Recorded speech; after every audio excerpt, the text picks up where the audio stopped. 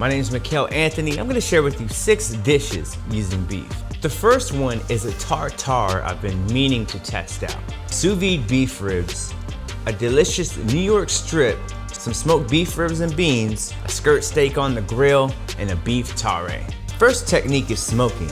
I used bone marrow and made it into a vinaigrette.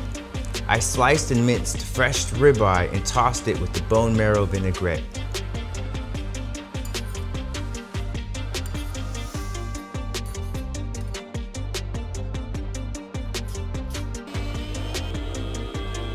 I then plated it on a nice olive loaf toast with some nice rich quail eggs. The next dish is a beautiful bone-in beef rib. I Frenched it and then used the trimmings in a rice porridge. I cooked it sous vide at 135 degrees for 48 hours. I then puffed some rice for garnish. I cooked down the porridge and then seared the beef when it was ready.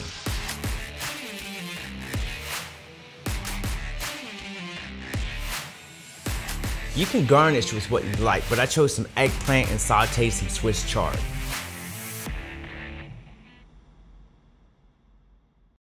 Beautiful, delicious New York strips. I broke down the New York strip into two inch thick steaks.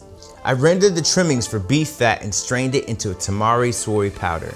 Then I placed the seasoned beef fat into a vacuum sealed bag with the steaks, vacuum sealed and sous vide at 132 degrees for about an hour and a half to two hours. Removed and seared. The remaining beef fat, I made a beef fat powder with maltodextrin so it would melt away on the palate. Mushrooms and black garlic are a match made in heaven.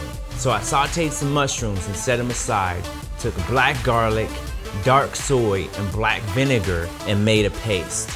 Finished this dish with a little parsnip puree.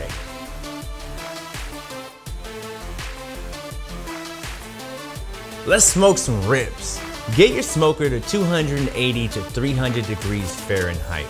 Place in your ribs and smoke them for two hours. Now don't worry, because we're gonna finish them in some beans. Soak your beans overnight, get them cooking with some bell pepper, onions, garlic. Throw in those beef ribs and cook them until they're tender. You can either shred them or plate them as is. It's super delicious.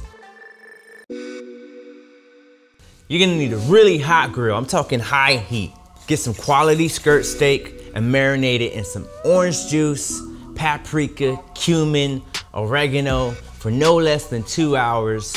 Slap it on the grill, cook it to your desired temperature, slice it, serve it as tacos or with some grilled vegetables. And a little pico de gallo. Finally, we're making a simple tare. I used all different parts of the ribeye for this, but my favorite is the cap. You want to skewer it, you can do it on a grill or find a yakitori style grill with some binchotan like I did, and then cook it to your desired temperature. Hopefully it's medium rare. I serve this with a bean sprout salad and some cured yolk. Thank you for watching. My name is Mikel Anthony. Like and subscribe. Comment down below. Be sure to follow Chef's Roll for more.